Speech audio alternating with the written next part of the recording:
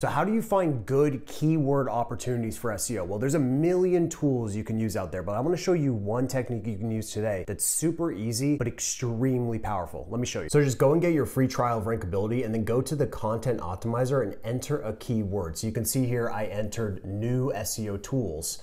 And then you're gonna go over to the right and look over at this section here. So these keywords are all the keywords that the top competitors are using for that particular keyword. And so what you can see here is you want to go ahead and target all of these keywords in your content to rank for that one specific keyword and you want to go ahead and build it in this content optimizer.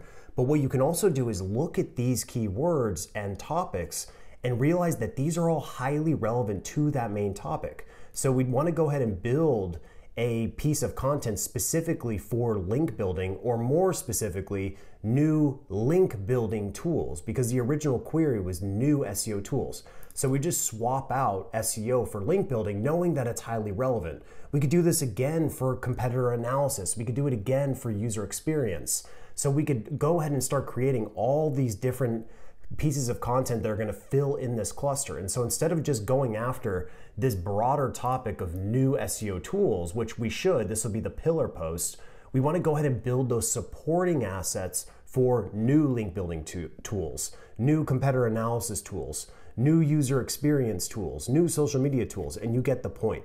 So you can use you can use these keywords that are that are tapping into the power of NLP, which is really just a subset of artificial intelligence.